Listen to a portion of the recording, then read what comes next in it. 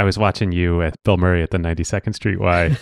How great is Bill, right? he's like the worst interviewer ever, but he's hilarious. He's Bill Murray. we'll let you talk more than Bill did. Who got the truth? Is it you? Is it you? Is it you? Who got the truth now? Hmm. Is it you? Is it you? Is it you? Sit me down, say it straight. Another story on the way. Who got the truth? Welcome to Season 9, Episode 8, the season finale of Acquired, the podcast about great technology companies and the stories and playbooks behind them. I'm Ben Gilbert, and I'm the co founder and managing director of Seattle based Pioneer Square Labs and our venture fund, PSL Ventures. And I'm David Rosenthal, and I'm an angel investor based in San Francisco. And we are your hosts. He was the most powerful man in Hollywood for two decades. He is responsible for movies and TV shows you love, like Late Night with David Letterman, Jurassic Park, Back to the Future, Rain Man, Goodfellas, and literally hundreds of others. Rain Man. We are here today with Michael Ovitz to tell the story of Creative Artists Agency, CAA, the legendary talent agency he founded in 1975 that changed the power structure in Hollywood forever. And not just Hollywood. As many of you probably know from our earlier episode this season, Michael and CAA inspired none other than Marc Andreessen and Ben Horowitz to similarly change the power structure of Silicon Valley. Boy, did he ever. Ugh, what a great way to end the season. I am so pumped. Before we dive in, for the last time in season nine, I would like to welcome our presenting sponsor, Pilot.com. Pilot is the backbone of the modern financial stack for startups. They themselves, as you know, are backed by all star investors like Sequoia, Index, Bezos Expeditions, and Stripe, and they are truly the gold standard for startup bookkeeping. Now, over to our conversation with Pilot co founders Waseem Daher and Jessica McKellar. So, as we come to the end of the season, let's turn to Pilot as a company itself. Not only do you serve startups, but obviously you've been an incredibly successful one, having raised over $150 million from Sequoia, Index, Bezos Expeditions, and Stripe. So I'm curious, what advice would you have for all the founders listening who are earlier in their journey or maybe haven't even started a company yet, but are thinking about starting one someday in the future? Real talk, thing number one is you need to pick a problem or pick a market where you can actually build a company that can make money. But leaving that aside, I can say this from having worked with Waseem and our co-founder Jeff for nearly 15 years at this point. Pilot's our third company. We've been through two acquisitions together. Having a founding team that works well together, that is values aligned, really does make a difference for maximizing the chance of having a successful business. And it's such a precious thing that we found each other. And I know at least I'm never going to let go of them. In addition to the team being really important, I think it's critical that you really remain focused, which is your company has one job, which is to make a product or service that your customers want to give you money for. In other words, you have to be laser focused on solving a real hair on fire need for your customer base. And anything that you're doing that is not in service of solving that hair on fire problem is frankly time you're wasting. Well, I can't think of any better note to end our time together this season on nor, frankly, any better pitch for why all startups should be using Pilot for all their bookkeeping and tax and CFO needs. Thanks so much to both of you for joining us for this whole season. Thanks for having us. You can learn more about Pilot and whether they can help your company eliminate the pain of tax prep and bookkeeping by going to pilot.com slash acquired. And thanks to Waseem and Jessica, all acquired listeners, if you use that link, you will get 20% off your first six months of service. Thank you, Waseem, Jessica, and all of Pilot. No kidding. And uh, listeners, before we dive in, many of you already know this. A ton of you have already subscribed, but the LP show is now publicly available in all podcast players for free. So only the uh, first two weeks of, of brand new episodes are uh, are in the private feed. Everything else, you can go search Acquired LP show in the podcast player of your choice and get all those episodes. Now, without further ado, our conversation with Michael Ovitz. Michael, welcome to Acquired. Thank you very much. It is so great to have you here with us.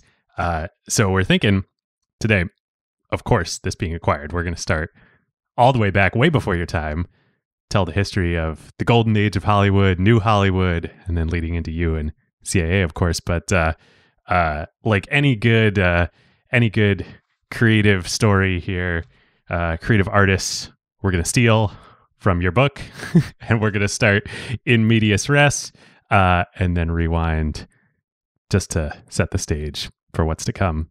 Just don't ask me any hard questions. Deal, maybe. Well, I think you'll enjoy telling this story. Um, can you tell us the Jurassic Park story? you must be like me and like dinosaurs. well, that was that was the key to all of it, right? Was that like everybody likes dinosaurs? I think that was that's accurate. That's what got that movie made, basically. So you had a pre-existing relationship with with Michael Crichton, but he hadn't produced any new material in a while. Is that right? So Michael was a client of mine from starting when uh, in the late 70s and we developed an extraordinarily close personal relationship that went way beyond our professional relationship and I literally talked to him every day of the week. And I did that not because he was a client, partially because he was a friend, but mostly because he was one of the smartest and most interesting people. He was really like a Leonardo da Vinci type, right? He was amazing. Here's a guy who was a medical doctor, screenwriter, director, travel writer, um, short story writer, novelist, and just was probably the greatest guest to ever have at a dinner party because he could talk about anything with an extraordinary depth of knowledge. And it's fascinating to me because later we'll talk about another friend of mine who I love putting together, and that's Marc Andreessen. Um, the two of those guys probably sucked 90% of the brain power that God gave away in their birth years. um, they're just like extraordinary. But Michael ran into a very tough patch, really tough patch. And a lot of writers and creative people and you've probably heard the expression writer's block. You know, they occasionally just, it doesn't flow. Artists have it as well. I have a friend who's a phenomenal painter, and she just couldn't get it together for six months. She couldn't, it just wasn't coming out. And I think that Michael was in a position where he was going on a couple years and he just wasn't happy with what was coming to him. And I used to have lunch with him once a week. And what happened is that I would push him constantly at the lunches to try to see if I could ignite a small spark. And at one of the lunches when things seemed the bleakest, he said to me, What do you think of three people, age younger and maybe one a little older person, stranded in an amusement park off the coast of South America? And the core of the amusement park are prehistoric animals. And I looked at him and I said, Wow, my young son likes dinosaurs. I like dinosaurs. And my dad likes dinosaurs. This is really an extraordinarily interesting idea. And we then talked for almost three hours about paleontology, about is it possible you could breed these type of beings in the 20th century? Could it be made real? Is it possible with, in those days, with the kind of technical know how that was available in the 90s to do it? And we came to the conclusion that it was worth him sitting down and trying to write it. And lo and behold, he sat down, and five months later, he called me up. He said, I'm sending you a draft of a book about what we talked about. And he sent it over, and I remember sitting down around six o'clock in the evening, six thirty. I had something to eat. I had left the office early, and I just started reading typewritten manuscript pages. And I didn't finish until around three in the morning. And I called him at 7 a.m. and I said, This is the best thing you've written in 10 years.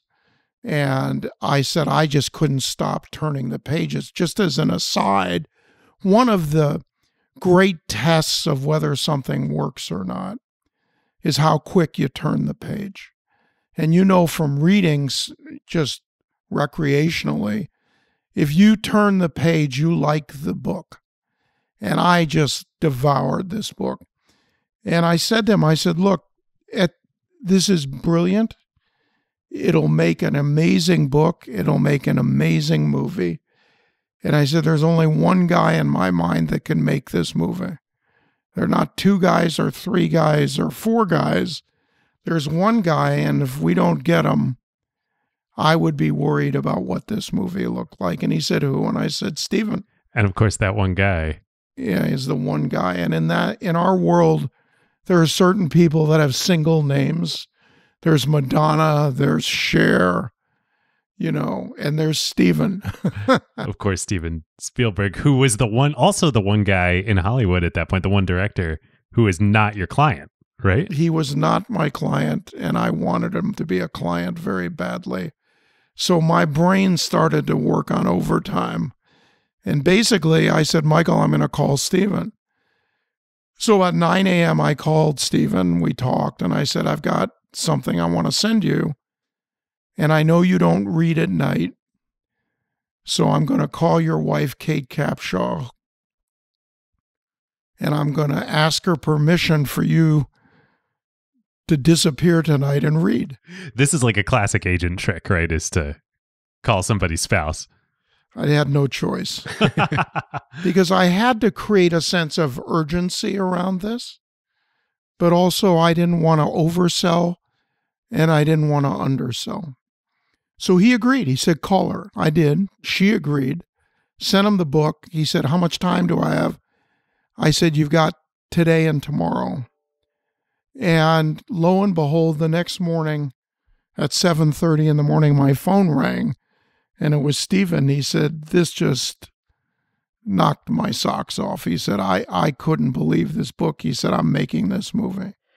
And what year was this? So this was about a year before the movie was made. 91, 92. It's very unusual to begin this level of sort of pre-production on a movie even before the book is published. I mean, this is on the first version of the manuscript, right? Yeah, this is uh, highly unusual. What's even more unusual is I asked Steven to commit to the movie subject to a budget, and we had no distributor and no financing. And, you know, Steven was the most sought after director in the business. And to his credit, he said, okay. And I called his producer, Kathy Kennedy, who oddly her husband, Frank Marshall, was my college roommate. Whoa, no way. So I had a little credibility there. And Kathy runs Lucasfilm now, right? Or no credibility, David, depending on how you look at it. And I said, Can we get a budget on this book? He said, Sure. He said, But do you have a script? I said, No. So I sent him the book, sent her the book. They both read it we did a rough budget and we picked up and Michael decided to write the script, subsequently brought in some help. And basically, I went to Universal, which was where Steven was housed. And I called the head of the company, Sid Sheinberg. And it was kind of a famous saying at the moment, but I said, Sid, we got good news and bad news. He said, Great. What's the good news? I said, We've got a Michael Crichton book, Michael Crichton screenplay. Steven Spielberg's committed to direct. Kathy Kennedy's going to produce. And I said, and it's about dinosaurs, which we all love. It's three people trapped in an amusement park gone awry, loaded with prehistoric animals. And Sid, of course, is the number two to Lew Wasserman, who we're going to talk about in a minute. So Sid says, Okay, that sounds amazing. What's the bad news? I said, Sid, the bad news is you don't own it and we do. Yes. And I said, So Steven doesn't control it, which means your first look with him disappears, but Steven wants to make the movie at Universal. And he said, How much time do I have? I said, 24 hours. And he asked what the deal was. I told him the deal that we were going to be partners with Universal, dollar for dollar. And he got back to me about 12 hours later, said, We're in. So this was all done under the tutelage of CAA with Crichton and Spielberg and Kennedy and Frank Marshall, who helped us with the budget. And it was one of the premier packages we ever put together. and we're going to talk a lot more about packages and, and everything you pioneered. But I mean, this in the old world, the old, old Hollywood, all these people would have been under contract with the studio and just paid employees, paid labor. Jurassic Park went on to gross a billion dollars. It's actually, if you add all of them together, it's much more than that. wow. And your team, the creative team and CAA, kept 50% of that billion plus. Well, the creative people had 50, which means we had five. Right. Because you had 10%. Yeah. Even though everyone chided us saying we never took 10%, but they were all wrong. So is my math right then that Steven had about 50% of that and and Michael had about 50% of that? So each of them ended up with a quarter billion dollars from this franchise? Well, I don't I don't know what they ended up with. They didn't have an equal split. Okay. Steven had more because as a director you command more. But they both did very well. Wow. And if, as David brought up, if this was done under the old studio system, all of them would have been under contract to a different studio. And the odds of loaning them out were nil. And then the odds of getting this made outside the system would have been almost impossible. And before we dive into this old system that David's going to take us to here, I just want to point out how unusual it is for someone. I mean, you represented Michael, and for years, you know, he's sitting there with writer's block, and you're just getting lunch with him every week, like coaxing him along, trying to figure out what that next big thing is, even though, you know, he's he's you know he's your client and you're spending all this time and attention but the agency business model is to get 10% of what actors directors writers are creating and if he's not creating anything you know you're spending a ton of time with him as obviously client friend and and as your belief in his future that sort of made this all possible Well, that's true, but there's a. I will say one thing about the agency business that is really not well known. Agents are per- depicted as money grubbing, as not loyal, aggressive, short sighted sometimes. But you know, the reality of it is, I don't know many agents like that. The agents that I dealt with at CA, the agents that I competed against, were vigorously and ferociously loyal to their clients. A lot of them were in the same position I was with Crichton. There is zero chance that I would have let that guy down. None. And I knew he was having a tough time. And it was my job to be there for him. period. Not a discussable issue, not a choice, not an option. I had to be there. And I will tell you, I tried some hokey things to get them stimulated. You know, I brought them other people's ideas. Sometimes I'd bring him an idea so bad to try to get a chuckle out of him, where he'd look at it, say, What are you thinking? And I said, Well, I'm thinking that maybe you'll think this is so bad that you could do something just a little bit better. And there was, and and frankly, the agency, to their credit, went around telling everyone that Crichton was working on an original. And by the way, that was unequivocally untrue. He was working on nothing. I mean, he could barely get out of bed in the morning. He was really wiped out. He felt he had just spent all his creative currency. So my job was to just back him up and stimulate him into thinking that he could do it again.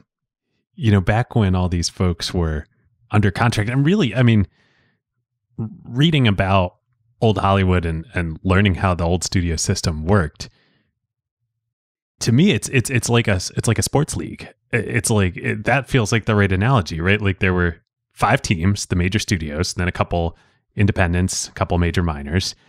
They were all a sports team that had the owners back in New York and had the GM and the manager. Those were the studio bosses. And then all the actors, directors, writers, they were like players. They were like, you know, LeBron James, they might be, you know, paid well. Well, that's a bad example because the players make so much more money now. But it's like a NFL player in the 70s. Yeah, they, they played for the team and that was it, right? And like if they didn't go out and play, they would get suspended, right? I think that you could safely compare the studio system to today's NFL. Hmm. And they had people that made a lot of money, Ben. They did. They had people, they had artists that were getting in their time substantial sums of money. You know, the Douglas Fairbanks, the Mary Pickfords. Then, if you moved into the next era, the contract players, the Clark Gables, the Jimmy Stewarts, you know, all of the the serious, the Cary Grants, you know, they were paid in those days money that was unthinkable. And it was typically like, even for the folks where it was a large amount, it was committed up front, right? They didn't get a share of the proceeds until who was the first to really get a gross proceeds deal? Well, the first is the famous story of the movie Winchester 73, where Lew went into the studio and suggested a lesser front money payment for a piece of the back end. Prior to that, artists were paid what's called flats, which is a flat fee. And they didn't get uh, a basic participation. And I think that what he did is he changed the entire fabric of the business. And so that was Jimmy Stewart in Winchester 73 and and Lew was his agent, right? Yes, was his agent. Which is funny because then Lew went to the other side and if you go all the way up to Jurassic Park, you know, he got stuck with participations. I had a similar issue with Lew and Sid over Back to the Future. Where they were running the studio. And by this point in history, you know, Lew's original trick of, hey, let's get Jimmy Stewart, you know, uh, cut in on the back end. He's a partner in this movie. He's going to participate from the upside. You would you know take what he did and and what CAA really did was you know multiply that over and over and over again such that the talent was really participating in the upside so then by the time you bring Jurassic and you bring uh, uh, Back to the Future to Lew when he's a studio head at Universal that, that's got to be kind of a wild full turn of events to to you know um, really get the better of that deal well, it was interesting. One of the things I said to Lew when um, our director, Bob Zemeckis, who's a brilliant director, was going back for Back to the Future 2 and 3, and I wanted a larger participation for him. My opening line to Lew was, You caused this problem. it didn't go over very well, I by bet. the way. so tell us more about who was Lew? Because the from the outsider's perspective, like here, here's how I sort of see things: is like Lew was an agent. He he was like Anakin Skywalker, right? Like he was like fighting for the artists to get way more of the upside. But then he went to the dark side and he stopped being an agent and he and MCA his his agency bought Universal and all of a sudden he's on the other side of the table as a studio boss now now from your perspective trying to stiff the artists. How did this happen? He made a decision. First, he bought the pre 1948 Paramount Library for Universal, and he made a decision basically that it was better economics on the other side of the deal. Why take 10% when you can have 90? Hmm. Ah, First, he bought Revue Television. Then he bought Universal. For a period, by the way, David, Lew was still an agent while he owned Revue Television. oh my goodness. So he had the ultimate monopoly. He's on both sides of the transaction. Yeah. You know, I've always felt, and I still do, I'm really interested in dealing with conflicted people. Because if you have a conflict, in essence, you want it to work out on both sides. So a lot of times I'll go to someone with a heavy conflict to this day to work out a problem. So, is my characterization maybe not fully accurate then? That I- I'm thinking of Lew and MCA as sort of opening up a seam for artists, but then closing it again. But maybe that's not totally accurate. Uh, is uh, how how would you characterize Lew then, and and what he did with Universal? I don't think that I, they gave participations out. They didn't stop it. They negotiated hard and tough on their side, no different than we did on our side. But they were sympathetic too. They didn't just say, look, we're not doing this, we're reversing it all. And frankly, as CA gained momentum in the 80s and early 90s, they didn't have a lot of choice because of the 50 top grossing directors in the for example in 90 CA represented like 45 of them. So it was impossible. You couldn't say no. I remember when we signed Mike Nichols, may he rest in peace, a great director. I'll never forget a call he made to me. He was getting two and a half million to direct. And when he became a client of ours, and he we went to make a deal for him, I called him up and I got him five million. And he said, I don't understand. That's not my price. And I said, Well, it is in the context of being a CAA client because five million was what the top directors made at that point in time. So I said, Mike, you're a top director. I said, if you want, I'm happy to take two and a half of it and donate it to charity. At the time, I was raising money for the UCLA hospital. We were going to rebuild it. So I said, I'd be very happy to take that two and a half million for the hospital. And he said, I'd love to do that, but I'm very pleased to have the full amount. Did he make a donation to the hospital at least? To, He did. He made a small donation. It was not two and a half million, but he was very generous. He was a great man and a great director. All right, so let's go back to this era, sort of before before you got into the business here. You mentioned Lew bought this pre 1948 catalog, which was a genius move because you could then run these films on television, which was rapidly sort of uh, proliferating around the U.S. and and make all this money on you know the owning the rights to this catalog that are playing. Meanwhile. M- MCA buys Universal, so you have one company there that's both an agency and a studio. Well, Washington, D.C., of course, doesn't like this, and they use the same word that you did, which was monopoly.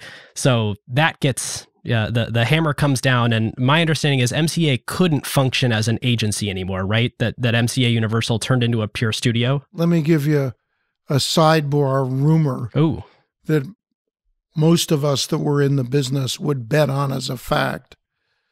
Lew was the chief fundraiser for the Democratic Party in West LA. There are stories galore that Lew called one of the Kennedy brothers and suggested that MCA be broken up as a monopoly. Why would he do that? Well, it was really, if it's true, it makes a lot of sense because it's brilliant. Because what Lew didn't want was MCA to stay together as an agency and leverage him at Universal. So by breaking up MCA, all th- that whole company went into a group of tiny agencies, none of which could give him a problem until we came along. We were his worst nightmare because we created MCA on steroids. And we would never sell any idea or client unpackaged or naked to a studio, ever, ever. So anything we did was pre-packaged where we controlled all the elements and our clients controlled their own destiny. By controlled all the elements, you mean the script, the director, the stars, Everything. everything. Yeah, the, it was in our client's best interest for us to go with a package to negotiate because the counterparty they had no choice so we could dictate terms so frankly we we legally set prices even though you're not supposed to price set we basically did it because you owned the scarce commodity, which was the complete package, and no one else had access to that. And then you would just go sell that one package. That's right. So if you had Stripes or Ghostbusters or Gandhi or um, Twins or Kindergarten Cop or any of the 350 films that we packaged, Tootsie, Rain Man, can go down a forever list. You had a choice. You'd you'd buy the package or we'd sell it to somebody else because we viewed the studios as distribution entities, period. We didn't need them to tell our clients how to make the films. Now, we did need them to distribute and market. They were great at that.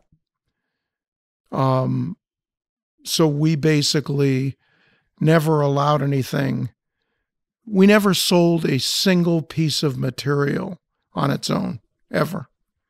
It all came wrapped up with elements. Where did that insight come from? Because I know in the sort of pre CAA studio world, you know, the talent agencies would represent the talent, and then the studios would do development, where the the studios, you know, they would buy the script and they would attach a director and they would turn it into a film, and then they would go cast the the actors. How did you sort of get the idea of, oh, we could do that? Well, the idea was pretty simple, frankly, in that when we started in 74, we didn't have any clients. So all we had were relationships. So all we could do is put elements together and try to attach ourselves and hang on to a bucking bronco. And by doing that, and if we could hang on, it developed that as we took clients in, we'd surround them with elements because it became very clear to us that the clients were the creative force and they were the ones that were going to dictate what was going to happen. It was kind of the same reason that I encouraged everyone at the agency to read a lot of magazines. Now, you can't think of magazines today the way we did. Because in the 70s, 80s, 90s, and early 2000, magazines were a vital part of the culture of the country. They were the internet. It was, it, it's correct, pre internet. My thesis was that art directors of magazines and editors were always six months ahead. They had to be because it took three months to get a magazine out and a month to let it sit on a newsstand. So they had to think six months in advance. So I urged everyone at the agency to read. We had a list of a hundred titles that they needed to look through every month. I subscribed to 200 magazines. And I didn't read them all, but I would sit and thumb through them while I was on the phone. So, you know, I would read things like Golf Digest, Motor Trend, Automobile, Car and Driver. I had to. Why did I read those? Well, I'll tell you why. When I met Paul Newman, I actually had something to talk to him about because Paul Newman loved cars. Now, could I talk for days? No, but I had enough to get through an hour. So, whatever we read, current events, you know, we read women's magazines like McCall's and Redbook and Vogue and Marie Claire. Why did we look at these? Wanted to see what fashion looked like. If you want to talk to an actress, you got to have some insight into look and feel and what people are thinking. It doesn't mean it was always right, but it gave us a firm overview of editorial process by people whose job it was was to predict the future. You're in the business of being able to relate to people and quickly build strong trusted relationships. And also get a sense of where culture is going. You know, we got the account to do all the advertising for Coca Cola because we were really culture mavens. We really had a sense of what the audiences wanted to see. And before we did this, there was this kind of unwritten rule that only buyers could do that. You know, studio executives, network executives. And my thesis was I had a partner named Bill Haber who was head of our television department. He was one of your founding partners, right? Yeah, Bill Haber could read a screenplay, a teleplay, and give as good a notes as any executive at any television company. As a matter of fact, I could probably make an argument he could probably do it better. He was really good at it. We put together Shogun as a miniseries. Everyone said Bill and I were crazy, that we'd lost our minds. Who cares about the Far East? And how do you make a TV series about a bunch of Asians and one an Anglo. Well, it was our point of view from everything we were reading that Asia was becoming a very hot commodity in the 70s and 80s. People were really interested in what was going on. The rise of electronics and electronic companies like Sony and Matsushita, Panasonic, National, these were major players in our business developing hardware for all of the software that our clients were creating. And those are the kinds of things we would think about. But moving back to Coca Cola, we weren't in the ad business, but we had a sense of what people wanted to watch. So I was at a Allen and Company conference, and Herb Allen was the on the board of Coca Cola. And of course, the CEO and president of Coke were at the conference. And we were having a coffee out on Herb's porch. And the both guys said to me, We're getting hurt by Pepsi Cola. And bear in mind, in the 80s and 90s, there was a book written called The Cola Wars, where these guys were fighting like cats and dogs for mark for market share. We talked about all this on our Berkshire series. This is, of course, Roberto Goizueta and Don Keough that you were talking with, right? Yeah. So I said to Don Keough and Roberto Goizueta, look, I think you guys are making a mistake with your advertising. And they said, why? And I said, well, you're doing six or seven commercials a year. I said, how do you run the same commercial on Seinfeld that you run on daytime and that you run on, you know, late night? I said, they're all different demographics. What are you doing? They said, wow, that's interesting. I said, could you come to Atlanta with some of your people? I said, yeah, if you send a plane for us.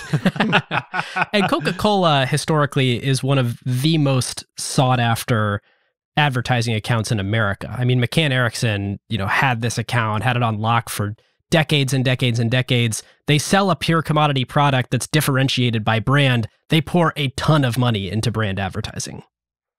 Yeah, they were running a business that spent five to six hundred million a year on advertising worldwide. So I gathered 12, 10 of our agents, and I took them from different demographics and different departments. I had men, I had women, I had music agents, film agents, TV agents. I had a personal appearance agent, I had a book agent, and I, they did send the airplane. and we flew to Atlanta, and they brought in all 12 of their worldwide geographic division heads. They got them all there for an all day meeting. What did your staff think when you told them, like, hey, we're going to go do an ad pitch to Coca Cola? Well, I'll tell you what they thought. Most of them thought I'd taken leave of my senses. well, how could we be in the advertising business? And a couple of them looked at me and said, Wow, we can do this. Um, why can't we do it? But my point of view, 80% of the business of our company thought there was something wrong with me that I probably had food poisoning or something that went to my head because it just didn't seem to equate to them. But to me, it did because what do we do? We read material and try to tell a client like Michael Crichton and Steven Spielberg, do you make a movie about dinosaurs? Can we recommend that? To Dustin Hoffman, can you make a movie? We think you should make a movie about an autistic guy and Tom Cruise should be your brother. Right. You know? Or dress and drag and Yeah. yeah. Um we took the same positions that a buyer took. There's no no one owns creative thought or opinion look, you two guys look at something on TV tonight, you have an opinion about it. When you're right more than you're wrong, that opinion's a trusted opinion. And we were right more than we were wrong collectively as a group. So we flew to Atlanta, we sat, we looked at every single commercial they had ever done. We listened to the complaints of the department heads geographically. And I said to them, give us 90 days and we'll be back to you. And I knew it would take us two weeks because I already had the idea that I thought was going to work. But I never like to overpromise and underdeliver. I like to underpromise and overdeliver. So about two weeks later, I called Don Keough. I said, We're coming back to Atlanta. You're going to pitch your idea. He said, You said you needed three months. I said, Well, we kind of accelerated it. We got so excited and we drank a lot of Coca Cola. oh, you're good. Which cr- cracked them up. So we flew in three weeks to the day after we met the first time and we pitched a simple idea. We said, Look, for the same money you're spending, we're going to do 30 to 40 commercials a year. They're all going to be for different demographics. It'll cost you the same as your seven commercials. We're going to do a mascot for you. The polar bears. Which turned out to be the polar bears. Still running 25 years later. We are going to run your commercials like a relay race. So, first of the year, we're going to do hopefulness. February, we're going to go into Valentine's Day and love, Easter family, summer refreshment, fall back to school, Thanksgiving, family again, Christmas, polar bears. And they said, How do we know that's going to work? And I said, You don't, because we didn't. They didn't. We just said, We believe it. Let us try one flight of commercials. And they said, How many do you want to do? I said, 40. and they said, You're crazy. But if you want to do 40 for the seven, the budget for seven, you got it. So they asked us, then they called back and backtracked because McCann had been their agency for 40 years. And they said, Will you come do what's called a shootout? And I shootout is where you come in and all the ad agencies pitch to the executives. And I said, We will do a shootout if Don and Roberto attend, the CFO, Doug Ivester, attends because he is the keeper of the money. Your head of marketing, Peter Sealey, attends, and three or four of your other key executives attend. And we'll do it. And they said, okay. And they set the date. It was set, I'll never forget this, for 11 o'clock on a weekday. And I flew our team of five people in the night before we checked out the room we were going to do it in. We rehearsed what we were going to pitch. And we went for a very nice dinner. I bought everybody new Armani clothes. And we got up the next morning. Never forget this. We went to the gym. We had a nice breakfast and we walked in at a quarter to 11 and sat down and we looked the part. One would say it's a show of strength.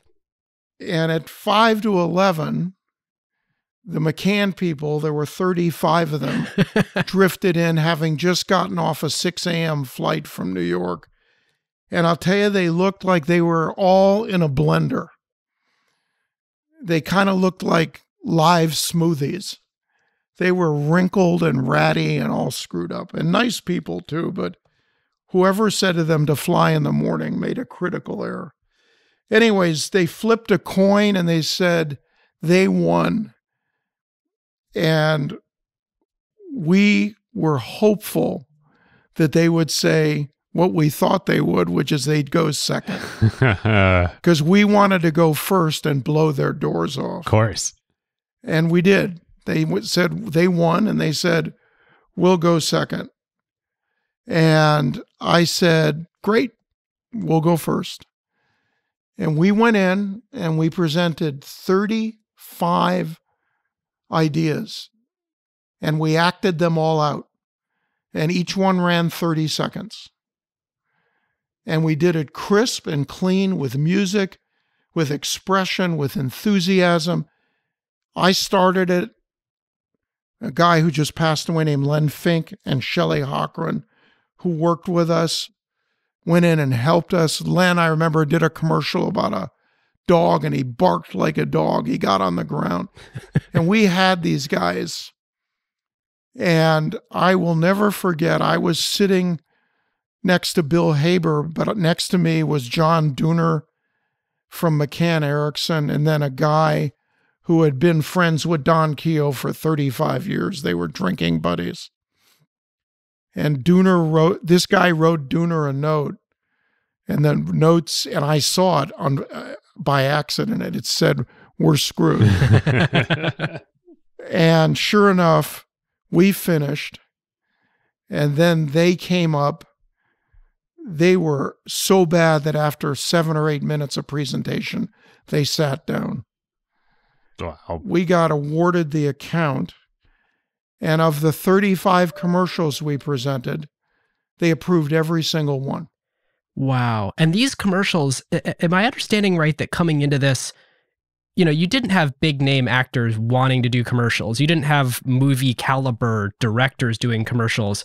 But one of your aces in the hole was not only are we going to come up with these great concepts, but we're going to go get our A list CAA talent to do this. And we did We got a, a lot of our top directors who were between movies to do the commercials, paid them well. They made money. You made money. Coke did great, right? Everybody was happy. But more importantly, you know, it's funny, our competitors put out all this press. CAA is going to use their clients to make commercials. How stupid, blah, blah, blah. I'll never forget one of our clients, Dick Donner, who did Superman, called me up laughing. He said, I just read this article in Variety that we're all stupid for doing these. He said, I just cashed my check. he said, and I'm I says, I'm between movies. I couldn't be happier. I just want you to know that. So it's just that kind of you know, we thought out of the box. Nobody else did. And when we did the commercials, I said to Roberto, I want you to premiere them like a movie. Invite the press and run them all because 35, 30 second commercials is less than 20 minutes. And he ran them for the press. And the press we got was insane. We got the cover of Time magazine, which was important at the time. We got a love letter in the New York Times. We got unbelievable press, except for the advertising journals. Shocking. Who said we were robber barons. I'm shocked. Shocked. yeah, we were ruining the business. Well, who's some of the talent that you brought in for this campaign? Oh, God, we used everybody. And if we didn't use them online, they helped us in the background. But John Singleton did one, Dick Donner, Howard Zieff. Uh, we had we used everybody, and if and we edited everything. But here's the the factoid that is fascinating. This is prior to people knowing the word or its meaning outsourcing. Hmm. So we had McCann Erickson had 300 human beings working on the Coke account. We had six. Wow. And we edited everything. We just didn't make them. But we hired a company called Rhythm and Hues to do the animation. They weren't on our payroll but they did a great job. Right, those polar bears didn't cost you, you know, uh, uh, it wasn't. They, they cost a lot less than Tom Cruise. Let's put it that way. The polar bears we did very reasonably, and we delivered 35 commercials for the cost of seven. One quick sidebar, then we'll move on. Um, we sent the bills to the CFO, who was a friend of mine at the time, named Doug Ivester, and we sent a bill for a commercial called Timeline that we made on an Apple IIe computer in black and white. And it just showed the timeline of Coca Cola at various times in history. And we sent a bill, I think, for, as I recall, for like $35,000 for a 30 second spot. And that was probably more than it actually really cost on that computer. But so they sent us a check for three and a half million dollars. And I called up. I said, what, what is the three and a half million for? Is this a bonus? He said, No, we thought you made a mistake on the invoice. No one's ever done a commercial for us for anything less than three and a half million. So we just we didn't want you to run out of money because we were a little shop. And I said, Doug, I hate to tell you this. I'm not going to cash the check, but it was 35 grand for the commercial. He said, I can't believe you did that. That's the kind of stuff we did. That's wild. I mean, so uh, you're, you, we're talking about this point in history where you had already become this big successful agency. You were already representing these people, and you're you know branching out into things like trying to take on Coke's advertising. Can we hear the entrepreneurial story from you of how CAA came to be in the first place because you really started with nothing, like zero. Yeah, I mean it, it it's actually pretty simple. Um, I'll I'll try to give you the highlights. We were a group of us. There were probably fifteen young agents at William Morris, maybe twenty, all in our twenties. And I was the assistant to the president at the time. Bill Haber ran the TV talent department. Ron Meyer was a first class talent agent. Rowland was a, and Mike Rosenfeld were TV packaging agents. And basically, we noticed a disagreement philosophically with where they were taking the business. And crazy as it sounds, CA was born out of a bad staff meeting at William Morris, where the guy I worked for, who was head of the television department, his name was Sam Weisbord, announced with great pride and passion that he had signed Ann Miller, which will mean nothing to you two young guys, but she was a 50s song and dance queen and a Broadway star. And we said in a staff meeting, we all sat in the back. We weren't allowed to sit at the table because we weren't senior enough. And one of us got up and said, Look, Ann Miller's a talented lady, but we should be signing Bob Redford and Paul Newman and Dustin Hoffman and Sean Connery and Sidney Poitier. And we should be signing those people not Ann Miller. This is William Morris. We've been around since 1898. We're on the wrong track. Well, the older guys went ballistic. And the, you then saw a division at William Morris that never healed. And then they made a cardinal tactical error. The head of the training department that trained all of us was the former roommate of the president, Sam Weisbord. His name was Phil Weltman and he was a tough ex Marine drill sergeant, and he trained everybody. And bottom line, they fired him. And he called us down and he was almost in tears. This was a guy that used to get up on the top of his desk screaming at us at the top of his lungs. This was before people were woke. you know, this was like we were trained the old fashioned way. and we felt, my God, we were embarrassed. We were, we, it was debilitating to watch this. This guy was destroyed. That was the beginning of the end. We started talking, all of us, narrowed it down to five people that we wanted to be in business together. And we made a decision to leave and set up our own business and do it our way. That's it. No, no, no more, no less complicated than that. All right, listeners, for our second sponsor of this episode and the last time this season, you've been hearing about them all season, it's PitchBook, the leading financial data provider for venture capital, private equity, and M&A. We uh, it's been an awesome season with PitchBook. I've probably run I don't know a couple thousand queries uh, while uh, they've been the sponsor of the show. We're super grateful to um, have had their support, not just you know to sponsor the show and to um, give listeners access. I think you, you many of you have taken advantage of the the free trial they've been offering, uh, but also they've been sending us awesome data to help us prepare for episodes. Which uh, anything that makes it so David and I don't have to spend all hundred hours researching is uh, is much appreciated. I think you probably know by now, but PitchBook pulls back the curtain and shows the real story behind private companies. I think that's what we do, but I guess it's what PitchBook does too. It's it's like acquired, but in software. It's like acquired, but in software. There you go, and more tabular because you know da- data tables don't read well on air, graphs, etc. Anyway, our huge thanks to PitchBook for everything that they've done for us this season. Uh, it's an awesome product. Obviously, I use it all the time. To learn more, you can visit pitchbook.com slash acquired or click the link in the show notes.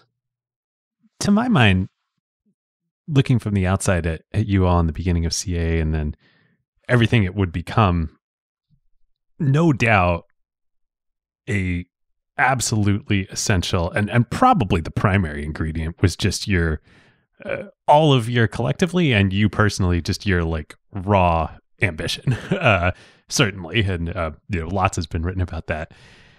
I'm I'm wondering though too, is it also fair to say that your background, because most, if not all of you, came from television, was that kind of a secret weapon? Because packaging was more common in television. A and B, television was still relatively new. I'm imagining most of the old people at at WMA and and then also in you know the studio business just weren't tuned into this new world, right? No, actually, if it's a good question, but let me correct something. William Morris was the top television packaging agency. And we all knew how to package television, but it's very different than packaging movies. Because in television, the producer is a key element, and in movies, it's the director and the director actor. And actors are cast in television prior to the 80s when fading movie stars were brought into television. But the thing about William Morris is they bifurcated TV and movies at a time when they were starting to come together. And that was a thesis that we didn't agree with. So that helped us leave. But it was a different business at the time. And William Morris wanted to keep them separate. And we were asking the head of William Morris picture department and television department to run joint meetings because people could work in both areas and they refused to do it. That was another nail in their coffin. So when we started, we made a conscious decision to be TV only because by SAG rules, they had to pay every Thursday. And we started our business on $100,000. And we never went into debt beyond that, paid that debt off in six months, and never carried 10 cents of debt, ever. And the reason we didn't is our TV clients got paid every Thursday. So we took our commission. But in 1978, we made a decision that we needed to be in the movie business, and the only way we could do that was to dedicate agents to the movie business. So we made a decision that I would start the movie business in 79 and the rest of the guys would stay in television, but that Mike Rosenfeld, who was in the movie division at William Morris, with me would start a movie division at CAA. That's a great insight because it you could cash flow the business if your customers, your clients were getting paid every week, but it's pretty hard to run a business when you have no you haven't raised any money if you're waiting one two three years for film projects to come together and then get paid on the back end after um, after it gets made correct could i ask what what was it like to get your first big star and what's the story of of caa sort of actually building a, a, a sort of reputable enviable talent roster so there was a lawyer in Century City named Gary Hendler. And we moved into Century City very early on. And I noticed his name on the placard in the lobby. Did a little homework and discovered that he quietly had a tax practice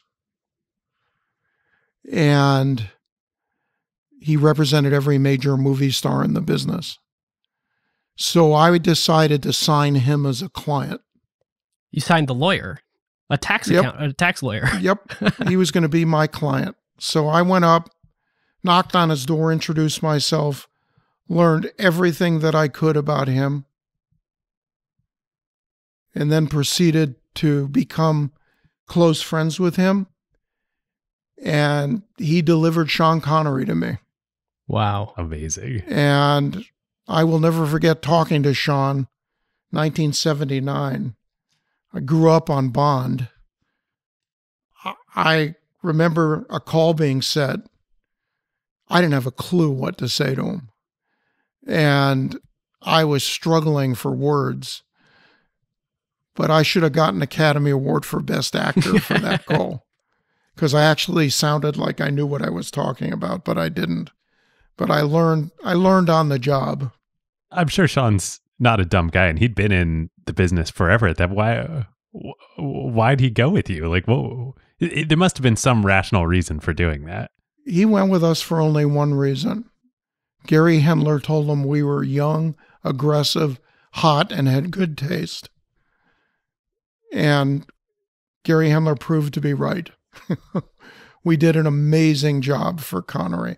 He had come off three really low grossing, not so good movies, and we turned his career upside down. But after him, Dustin Hoffman signed with us, and it just one after the other. I will tell you a funny story that I think is kind of apocryphal. There was a literary agency, top literary agency named Adams, Ray, and Rosenberg. they had about 400 of the greatest writers in television. Few feature writers, but mostly TV. And Rick Ray was best friends with Mike Rosenfeld, one of our partners. And Mike was desperate to merge with them. And I said, I'm happy to entertain it. So we had this meeting with the three Adams Ray Rosenberg partners Sam Adams, Rick Ray, and um, I think his name uh, Rosenberg was uh, forgot his first name. Nice guy. And the five of us, and we sat in a little conference room in our crummy little Beverly Hills office, which, by the way, was raided by SAG because the people that we leased it from were running a house of ill repute out of it. and the Screen Actors Guild was going to yank our license. Little did we know. Whoa. So we got out of that mess and we were sitting in the conference room. And I will never forget this. Rosenberg said, I think his name was Lee Rosenberg. He said, You know, we're going to have the best television agency in history because we're never going to sign Robert Redford or Dustin Hoffman or any of these people. And this was before we signed Sean Connery. And Ron Meyer and I looked at each other and Mike Rosenfeld, and we looked at them, and I said, Well, that's not true. We're going to sign all those people. Yeah. And they said, You're nuts. You're not going to sign any of them. So I said, Well, we plan on signing every single one of them because we want a monopoly on talent to give us leverage to turn the paradigm around against the distributors. And they said, That'll never happen. I said, Thank you. Meeting's over we're never going to merge. And about six months later, we signed Connery. And then every week, we signed a famous movie star after that. And didn't you take out an ad in Variety announcing yeah, it? thanks for reminding me, Ben. We took out these giant red ads in Variety every Friday and the Hollywood Reporter on Monday. And it said CAA is pleased to announce the worldwide representation of Robert Redford, Sean Connery, Dustin Hoffman, Sidney Poitier, and we just went on and on. And every time we ran an ad, I ripped one out of the reporter, I mean, the variety, folded it up and mailed it to Adams Ray and Rosenberg. and it got to be a stale joke after a couple of years. Well, this feels like a huge principle of yours in CAA, which was really strength leads to strength. It seems like you were always looking around and identifying what's the new way that we've become more valuable and how do we leverage that into the next thing. Can you talk about some of like that and some of the other ways that you just by uh, sheer force of will or by counterpositioning against other agencies, how you were able to be different than everyone else around you and win? Well, we were different for one solid basic reason, which is that we basically worked as a team.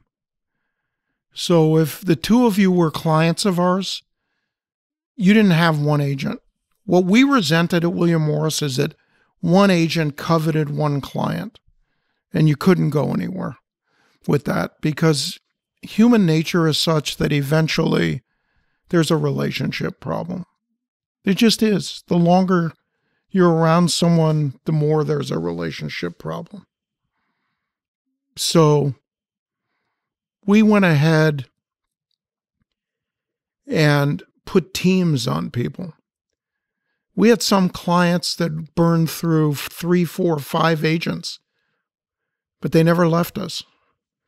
As a matter of fact, in a 25 year period, I think we lost under six, five or six clients. We never lost clients because we had teams of people on them that they could relate to. So we would have, a, for an actor, no actor ever had a literary agent. We'd have a literary agent on an actor. Well, why would we do that? Well, it would be stupid not to. Why wouldn't we? What does an actor do? All they do is read scripts to see what they want to do. What does a literary agent do? All they do is read scripts to see what actors' roles are available. So we were in a state of shock that actors didn't have literary agents. When we looked into it, we were saying, wow, are we are we stupid or is everyone else stupid? I mean, obviously, you all were young and aggressive and willing to think differently. But why was the competition so weak? I, I, I don't think they were weak. I think they were very comfortable in the old shoes. They liked the one on one, they coveted representation. Their meal ticket was their individual clients.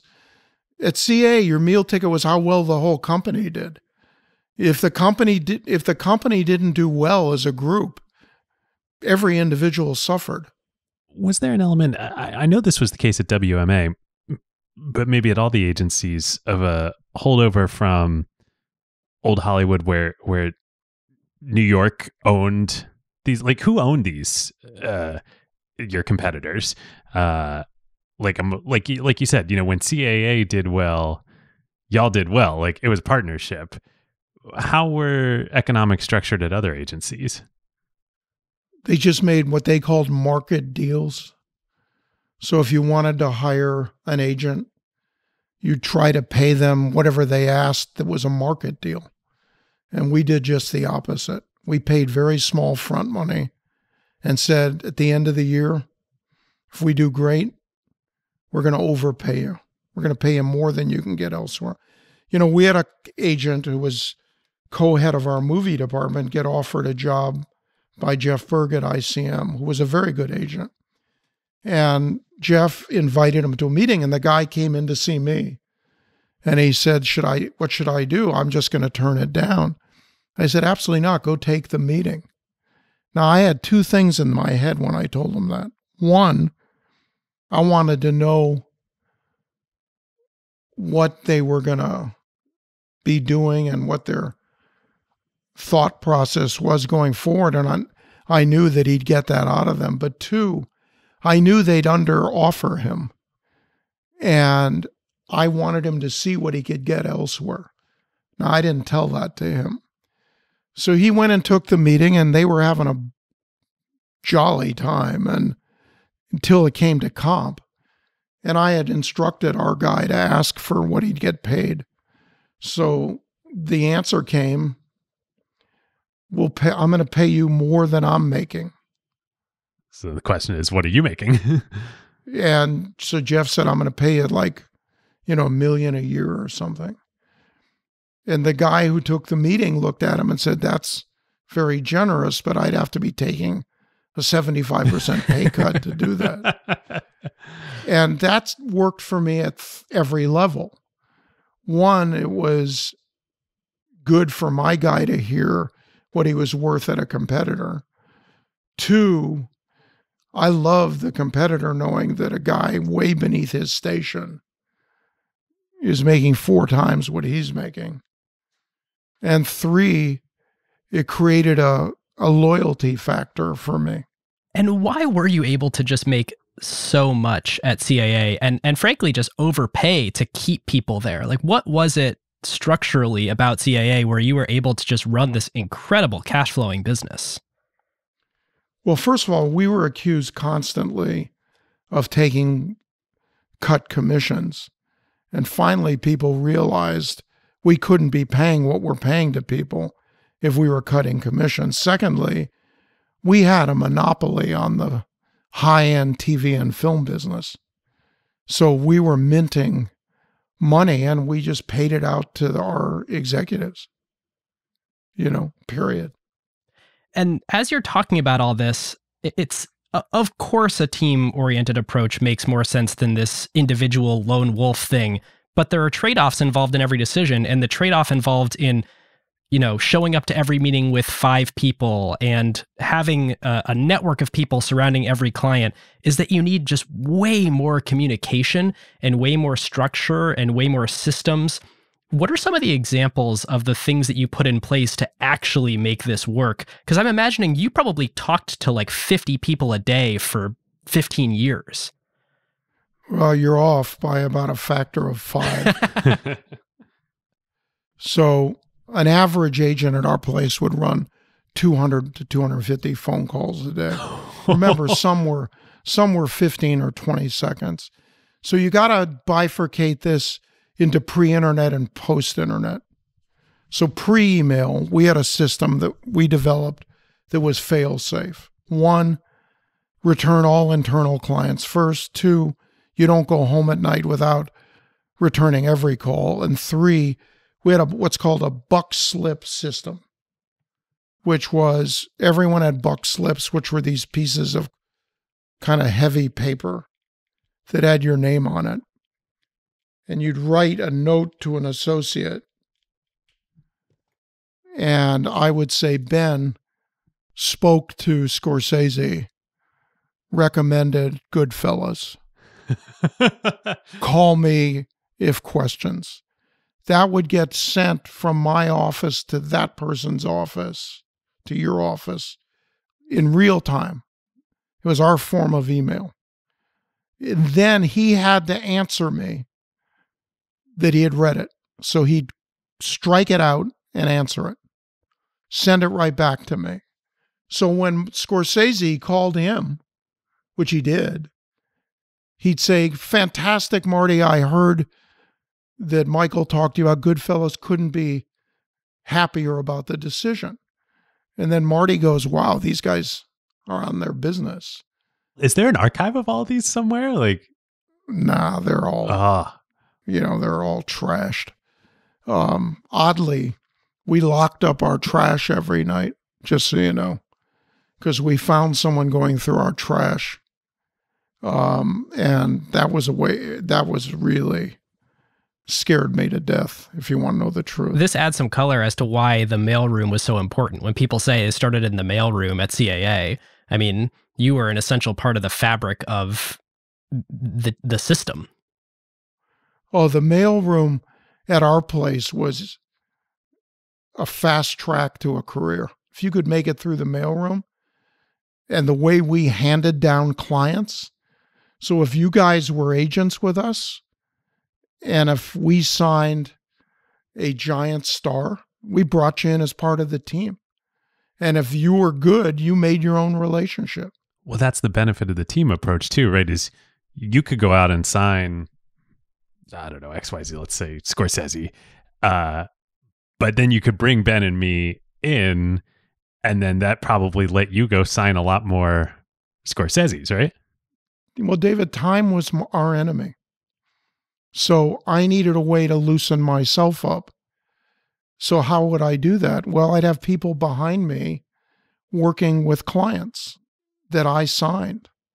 So, you know, I, I, we signed Hoffman, Pacino, and De Niro, which had never been done in history. And they're known as leading men at the time, right? They were sort of competing, they, they were competing leading men. Well, my thesis was they weren't competing if they were with us. I said to Dustin Hoffman, help me get De Niro. He said, why? I said, because wouldn't you rather I told you what he's doing than me not knowing? He said, wow, that makes sense. So we got De Niro, you know. And then when I got both of them, I said to both of them, I want to sign Al. And of course, they looked at me, what are you crazy? You got the two of us. And I said, no, I'm not. You can work with each other. And on top of it, we'll all know everything. And you're not really competing. You're not really competing because at the end of the day, Ben, the director makes the decision. The agent doesn't make a decision. But we packaged De Niro and Pacino with Michael Mann, called it Heat. Yeah. Well, that's what I was gonna say. Uh, You you you build all this up, and then that just lets you make the pie bigger for everybody by packaging. Well, that would have never happened. Would have never happened. You know, in Untouchables, I they would have never gotten Costner and Connery in the same and Andy Garcia in the same movie. They were all clients of ours, you know, and we wanted them to work together. We were a very family oriented business. We wanted our clients to work together. And it worked for us economically and it worked for them. You took an aspect that people thought was a zero sum game, and you made it a positive sum game.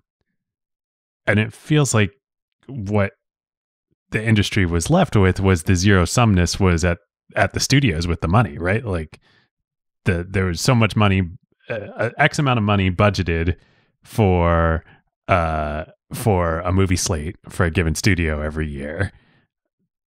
Leave them holding the bag to figure that out, and and then you can control all the talent, right? Well, our our job was to create product for our clients. Period. We had people dedicated that had no clients that were only involved in creating product. That was their job. No agency did that. We also had 15 readers on staff. Michael, can you take us toward the last few years of your time at CAA? You know, we talked about this period where you know you're signing your first clients. You went on to become, you know, to represent 45 of the top 50 in Hollywood. Talked about, you know, your foray into advertising with Coca-Cola. There's sort of two little pieces of this chapter remaining. One is you kind of getting into investment banking, and maybe I should pull kind of there. You definitely turned CAA into an investment bank, and I think you were the top grossing investment banker in the world the year that you did your first deal. And then the second, I want to talk about um, when you explored Universal and potentially becoming a studio head yourself. So the first question is was a natural evolution of what we were doing the studios were in trouble financially. And it became very clear to me that they were going to need financing, and traditional financing wasn't going to work. Universal was under siege. People were taking stock positions, corporate raiders out of New York. Columbia was in trouble. MGM was in trouble. Warner's, believe it or not, was in trouble. So I was very friendly with a brilliant guy named Herbert Allen. And Herb was an investment banker, taught me a lot about the business. We used to spend a ton of time together.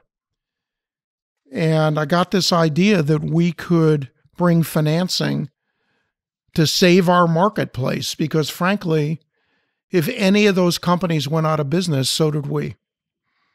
I couldn't afford for Universal or Columbia or MGM or Warner's to shut down or to reduce the scope of their budgets. CAA couldn't put up a $100 million budget for a movie. You needed a studio to finance it. Well, it's worse than that, Ben. We weren't allowed to produce. Ah. We weren't allowed to produce. I had a, I had a white paper written by a the most prominent entertainment lawyer in the business at the time, Frank Rothman, who's passed away, great guy. And he wrote a 10 page opinion that we couldn't produce because I wanted to go into that business with our directors and create a directors company. But we didn't want to take on the guilds. Plus, the Writers Guild and Directors Guild were run by CAA clients. Right. You'd be pissing off your, your clients. And we were settling strikes. Bill Haber and I settled one of the writer strikes in the 80s. We we couldn't afford that. So back to the studios being in financial trouble, like literally you have the reverse problem of Lew Wasserman back in the day of you need you now have the buy, the power on the sell side. You need fragmented buyers to I needed people that are buyers with money, David. Period. And so I started uh, building relationships in Japan. First relationship I built was with a division of Matsushita Electric. And I hoped that I would be good enough in the meeting that the division would recommend to Matsushita that they meet with me. But before I got to that, I was representing people that were involved with Sony. And I got involved in the sale of CBS records to Sony and built a relationship with Norio Ohga, who was the number two at Sony, who ultimately introduced me to Akio Morita. And I became Morita's and Ohga's consultant. We sold we consulted on the sale of CBS records. And then Mr. Morita came to see me and wanted to buy, get into owning content because he was upset that Betamax, which was a superior technology to VHS, was losing to VHS. So he wanted to own a studio. So I started calling different entities that I thought made sense and brought Morita into meetings. And the first entity I called was Kirk Kerkorian, who owned MGM. And I had a meeting at my home one morning, late morning, pre lunch, with Akio Morita, Kirk Kerkorian, and myself to discuss selling MGM to Sony. And Mr. Morita was a very clever guy, and we were a great team. He came with a box and he stuck it in the middle of the table, and Kirk couldn't get his eye off that box. And halfway into the meeting, Morita opened the box and he pulled it out. And it was a tiny little video camera, which was a prototype for a videotape recorder camera. And Kirk was blown away by the fact that when Morita would take video of us in the room with natural light and play it back through our TV set, Kirk went nuts. It's the equivalent of Steve Jobs putting an iPhone on the table in 2005. So Morita just kept talking. And then Kirk said, How do you want to, how would you pay for this? And uh, Morita said, you know, we would finance it through Sony and we have the cash and et cetera, et cetera. And then as the meeting ended, I could see that Kirk was lusting after this camera. Morita packed it up, put it under his arm, and left. Power move. And that was how we ended the meeting. Subsequently, I couldn't get traction with Kirk so Herb and I started working on Columbia, which Coca Cola owned. And the rest is history. We worked the deal and through a long process arranged to sell Columbia and TriStar to Sony. And that became Sony Pictures Entertainment? Yes. And Herb and I did that deal with no one else, just the two of us. And it became a template that he and I then did over and over again. What do the economics look like when you arrange a deal of that magnitude? What do they look like? Do you agree up front to a fee? Do you say, hey, let's figure it out later? Do you agree to a fixed price? So I did something in those days that cannot be done today. And let's bear in mind, guys, this is 35 years ago. I worked my tail off to understand Japanese culture. And I read everything that was published. I studied the language. I studied the culture. I studied the art. I studied how they treated people. I read everything under the sun that wasn't tacked down. There was a Japanese American bookstore in Rock Center I was their biggest customer.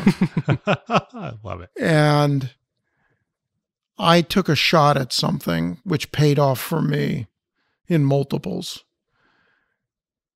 So all of the banks, excluding Allen and Company and me, asked for a fee letter up front. We asked for nothing. We said, look, if we do a good job, you can pay us an obscene sum of money.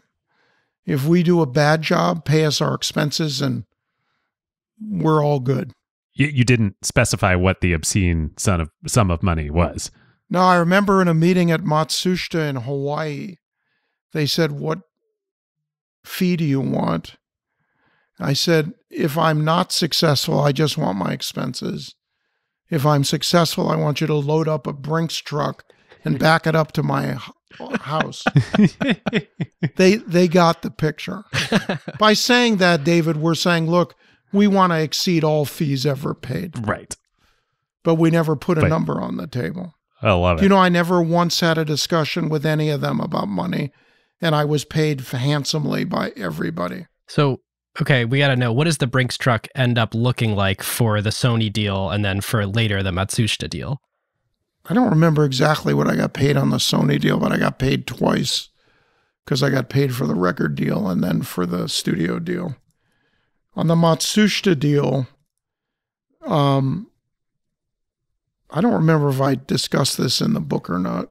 I think it is in the book. Yeah. Yeah, but they gave me $120 million to pass out to all of the consultants. And I passed out money to everybody generously because we had Washington lobbyists, we had PR people Right. at Allen and Company. And this is to buy Universal Yeah, or MCA Universal at the time, which it was they to buy MCA Universal, which, by the way, I tried to buy for Sony, but Lew turned me down. Said he'd never sell to the Japanese. But when his stock went from 65 to 20, th- he changed his tune. And so uh, Matsushita is the parent company of Panasonic. Is that right? The brand that Americans Yes. would know.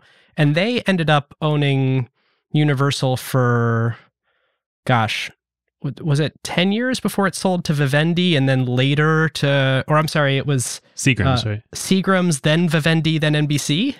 They had a very bad experience with Universal. Hmm. So when I brought the CEO of Matsushita to the Universal lot after the deal was consummated, I had had lunch with Lew the day before. And I said to him, I said, Lew, you are the greatest executive in our business. But once you sell this company, they're paying me to consult. And I want you to feel free to use me because I understand their mentality and their culture. And I said, with all due respect, you don't. And I said, I'm here for you. And a very apocryphal thing happened when I brought these guys to the gate. I dropped them off, and Lew looked at me, shook their hands, and turned his back on me and didn't invite me in. Hmm. And that was the beginning of the end for him because he didn't understand them. And they did they couldn't communicate with him. He didn't understand how to deal with them. And four or five years afterwards, they called up and his contract was up. And he and Sid ran Universal like they didn't have owners, but they did and they're smart guys, but they couldn't make the transition. And they didn't make the transition. Well, clearly, I mean, having read about him and, um, you know, even going back to the, the Sony courtship, like clearly Lew and Sid didn't want to be owned. They didn't want to be owned. They took the deal out of fear of losing the company. The value of the universal real estate was probably 18 bucks a share and their stock was going down to 20. Wow. wow. So it was a no-brainer a no-brainer for private equity firm. And when eh, these situations come up, it just got to be hard to go from entrepreneur, mogul, self-employed, king of the world to being an employee. Like it, it just it just has to be an unbelievably hard transition. I can't imagine how they did it. I was always shocked that they were going to do it, but I knew they didn't have any choice.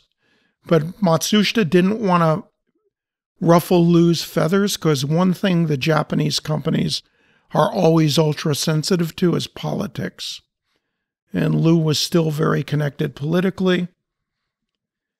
One of the guys on the MCA board was a guy named Bob Strauss, who was head of the Democratic National Committee. They Mm. didn't want to mess around with this, so they called Herb and I up, said, We'd like to sell the company. That was all they said. They and the reason was they didn't want to try to negotiate with Lew. They just put up the company for sale, and Herb and I were working with Edgar Bronfman, frankly, on trying to take over Warner Brothers. This was before the Warner Brothers and Time Inc. merger. This was before. Got it. And we had uh, quietly accumulated 14% of the stock through Allen and Company for the Bronfman family. And I met with Steve Ross three weeks before he passed away. He was one of the greatest guys in history of the business. And he gave me three hours of his time where I came to him and said that Seagram would put up six billion of cash with a standstill. And Steve assigned the deal to his deal maker. And then as he got sicker and passed away, it all fell apart. Well, Michael, as we come up toward the end of your tenure here at CAA, can you talk us through the generational transfer and and the sale of the business to the next generation, the young Turks, and then your time at Disney after that? How did that all come to be? So I was pretty much hitting the end of my useful life as an agent. I was about to turn 50. I'd been working since I'm 16 in the entertainment business. First for Lew, right? At, at Universal. It was my first job, tour guide at Universal Studios. and I just didn't want to be in service anymore. Wanted to try to run a public company for five years and then, frankly, thought about going into public service, not private service. And I was very friendly with Michael Eisner. He was one of my closest friends. He had a heart attack and a quadruple bypass. Two of the board members started talking to me. And I spent a year talking to them on and off, on and off. And then Ron Meyer blew up. He just lost it. Um, he just couldn't be in service anymore. He just, he was over 50. He had hit a point where he just couldn't talk to clients. You know, I, I will never forget this. He had a conversation on a Sunday that probably lasted six or seven hours with one of his clients. It was Sylvester Stallone. And he finished the conversation, tried to have a rest of his Sunday, and Sly called back and wanted to start the conversation all oh. over again. Oh. And that's not unusual. That's a little unusual, but not completely unusual. that's within the realms of reality for an agent. Yeah, in the entertainment business, it is. Yeah. Look, actors are gypsies. They have no one to talk to except their agent. So Ron just couldn't deal. And also, I had thought about going to MCA, and at the very last minute, they tried to change the deal, and it became clear to me that Edgar wasn't in charge. And I just, too many signs as a deal maker said to me, this isn't going to work. Now, that was before Ron decided to quit. So I figured I'd stick it out another year. And then afterwards, Ron had already made up his mind to leave, and I should have realized he had two feet out the door. When he left, it just made me take the Disney conversation more seriously. The board members that were friendly with me, one of the board members owned a boat with me. We were really tight. And he said, We want you to come over and create the culture here that you had at CAA. And Michael was sick. He wasn't supposed to work every day. I always like to say, I am the greatest cure for heart disease. because when I came over, I was working seven days a week, 14 hours a day, and he was supposed to work two days a week. And he started working harder and harder, and his doctor was telling him not to. And it just was very clear from the beginning. It just, it wasn't going to be a team effort.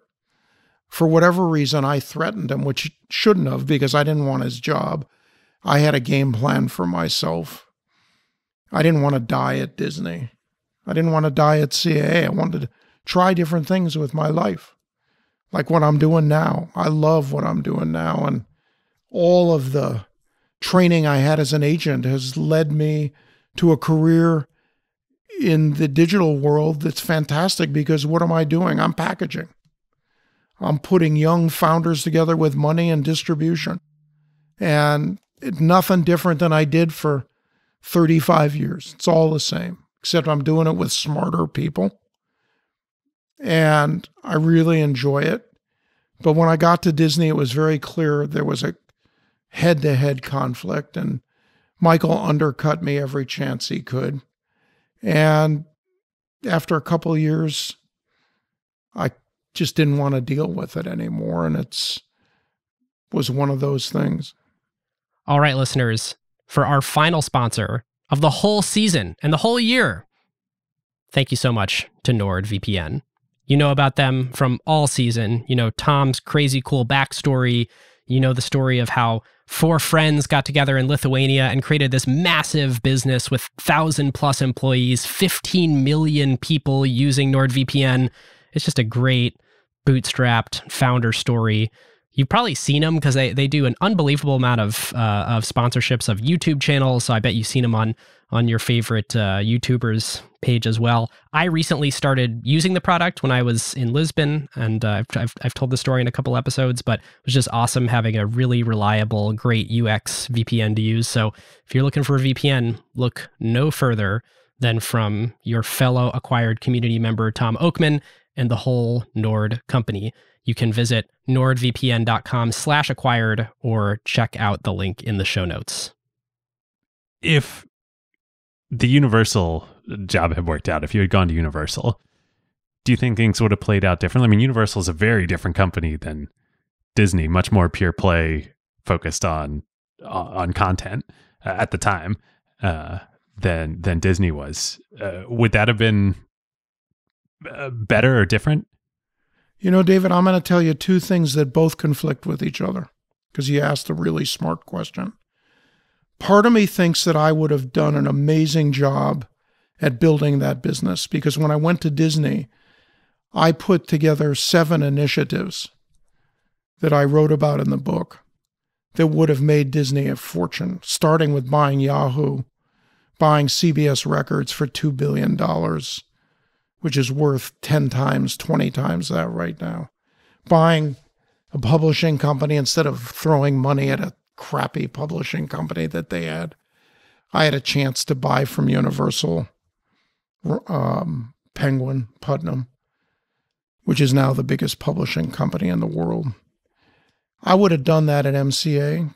The other part of me said I would have failed at MCA too, because the Bronfman family would have never given me a free rein. And I'm just not, frankly, I'm not a very good employee. you and Lew Wasserman both. Yeah. I mean, I shared that with Lew. My critique of Lew goes for me. I'm a terrible employee. I like I like to swing for the fence and I like to have autonomy and I don't like to answer to anybody. And I was too thick-headed to see that clearly and only saw it in retrospect. But I did the same thing Lew did. And I should have been more self actualized to understand that I'm not a follower. I'm just not good at it. And I have no problem admitting that now. But you know, hindsight is 2020 vision, and it's always easy to be a Monday morning quarterback. In the height of transitioning from CAA to Disney, I actually thought I made the right decision. I was going to a place where the board solicited me. I'd had a year's worth of conversations. I had my best friend running it who had a heart attack. To me, it was a no brainer. Five years there. Then I go into public service. I actually was on the Council of Foreign Relations and was really interested in working at the State Department in some way, shape, or form. And I had a whole game plan. But you know, the best plans of mice and men. And reflecting back on that, uh, having one of the world's best deal makers, both in Hollywood and then proven in the corporate environment, it seems like a natural fit for the State Department. I felt really good about going into government service. I really did. And whether it was a State Department or something else, I would have felt really strong about doing that. But look, I made a game plan for myself, just like I used to make for my clients. And I made a mistake. And I didn't take into consideration certain things that I should have. But at the end of the day, it worked out fine. Um, I, I, I made a good settlement at Disney. made me comfortable. I took some time off, then went right back to work. And a guy named Marc Andreessen and his partner Ben Horowitz kind of saved my skin. You know, they gave me, they asked me to be on their board in '99. They gave me a roadmap at LoudCloud, right? Yes, at LoudCloud. They gave me a roadmap to a new career.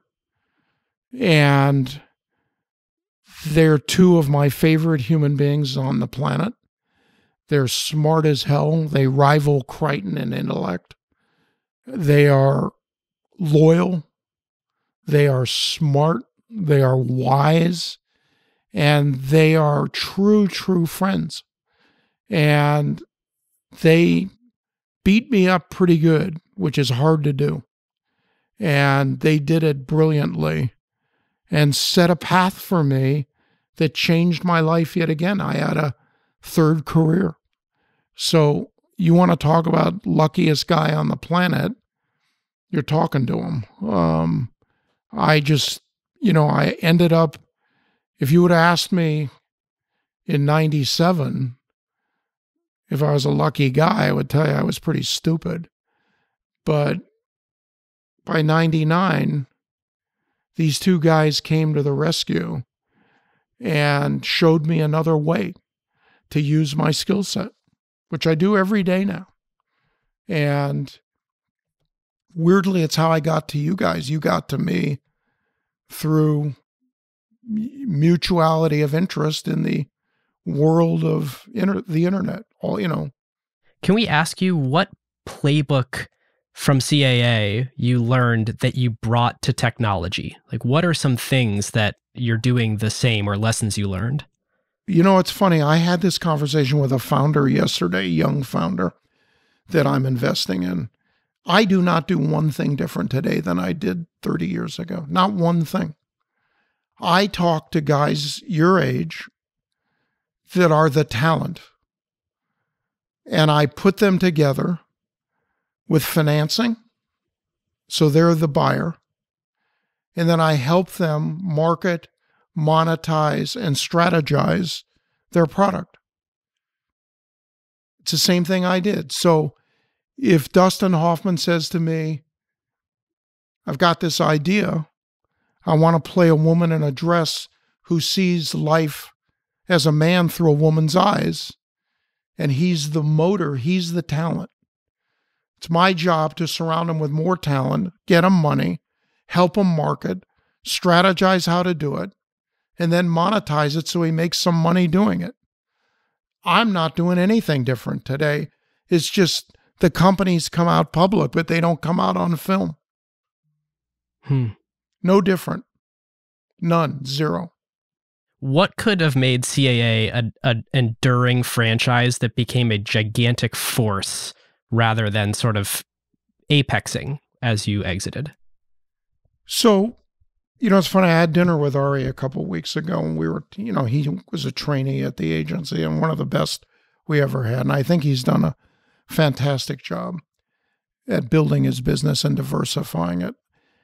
I I spent a lot of time, which very few people know, looking into how I could diversify CAA. Could I run it public?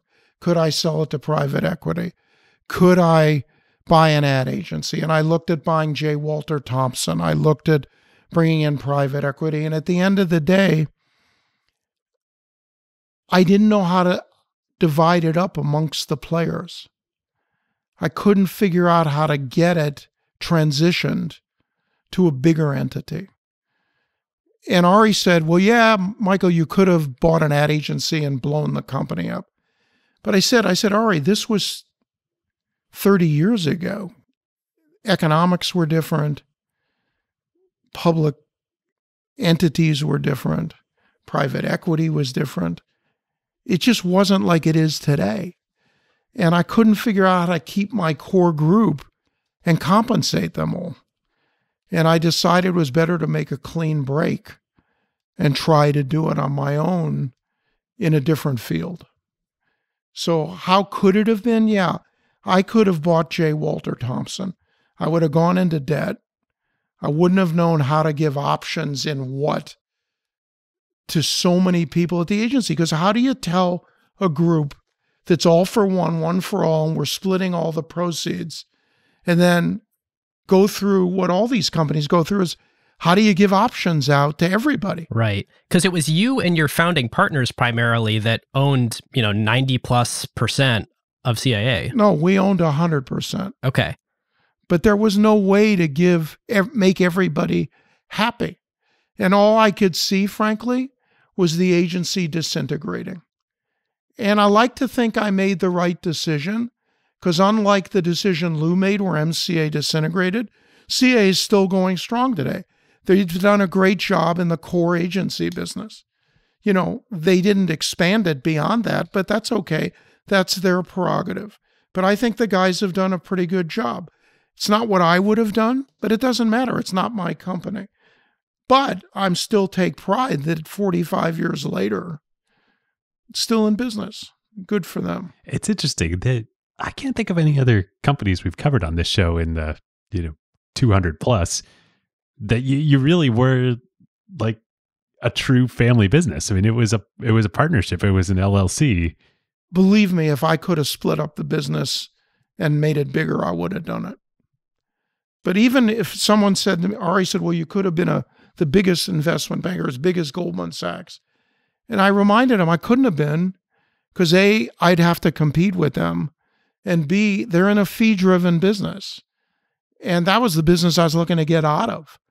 And by the way, at that moment, I'll give you the kicker, which I've never said to anybody. The thought of being in the client service business to big corporate clients was, boy, that soured my stomach because I had had enough of service. The one thing about going to Disney that I will say was positive man, it's easier to be a buyer because you just, everyone's calling you. It's easier to be a buyer. Yeah. And just so listeners have the context, because I, I think, Michael, you created a lot of value and captured a lot of value in other scenarios and at other points of CAA's life. You created a lot of value at the end and made a pretty sweetheart deal for the next generation that you sold the firm to. And at least my research uh, found that um, you sold all of CAA to the next generation for 200 million, which of course they didn't have in cash, and they were able to pay you with the profits over the next, I don't know, five or so years on an interest-free loan that you effectively made them. And keep in mind, this is the business that has a enduring revenue stream of Jurassic Park and all these other franchises that have recurring revenue associated with it. I only cared about the business staying alive. And I felt that if I didn't do that, 20 people would keep, peel off and do their own business. And I wanted the franchise to stay alive. Frankly, I didn't care if I got paid immediately or five years down the road. It made no difference to me. It, it, it wasn't about that for me. I was very lucky. I made quite a bit of money as an agent. It wasn't a driving force for me. It wasn't, a, and I knew I had the Disney thing lined up because that discussion, contrary to what people realize, had been going on for a year. It wasn't fresh. So I knew I had that and I was going to get paid handsomely to go there because they had outlined a deal to me. Before Frank Wells died, he tried to get me to come over. I was closer to Frank Wells than Michael Eisner was. Ah. Oh, wow. Frank Wells was part of a trifecta at Warner's. It was Frank Wells, John Calley, and Ted Ashley. So Wells and Eisner, Wells wanted me to come and be the third part of the trifecta because that worked for him for 20 years. So I knew what I was getting into and I knew money wasn't going to be a problem. Well, Michael, that that's it for our storytelling and our analysis sections. Thank you so much for being here with us today. My pleasure. It was really great. I appreciate the time. I appreciate your homework and I appreciate just being a part of what you're doing. I like what you're doing. I'm glad to be a part of it. Oh, thank you, Michael. Thank you. I'll be shortly sending David a contract with my fee structure. the Brinks truck is en route. yes. All right, guys. Take care All right, of. Michael. All thank you so much. All right. Bye bye. Bye bye. Ah, so fun.